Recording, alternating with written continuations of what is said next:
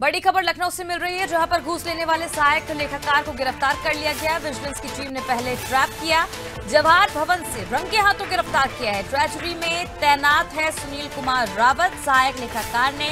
महिला से घूस मांगी थी पेंशन फाइल आगे बढ़ाने के एवज में पैसों की मांग की गई थी महिला के बेटे ने विजिलेंस में शिकायत की और भ्रष्टाचार अधिनियम के तहत इस कार्रवाई को अंजाम दिया गया